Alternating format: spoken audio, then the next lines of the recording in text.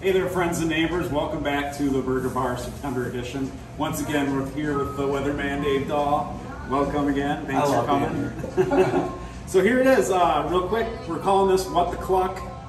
Say that carefully. Yep. so we have uh, the cluck is the chicken, and we're stuffing it with mozzarella cheese, and it's coming on a nice toasted brioche bun with our giardiniera sauce, uh, just chopped vegetables, pickled. Uh, we got lettuce, tomato, mixed greens, and we have a Dijon balsamic vinaigrette. So that's the sandwich. And that's what the Burger Bar does. You know, we don't just stick with hamburger.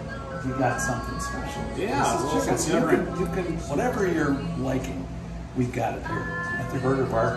And this looks like it would be very good for just like a cruise down the sidewalk, you know? Yeah. And we got, we got the perfect weather for it still. The weather is awesome, but this is great. And uh, I'm getting hungry. Thank you.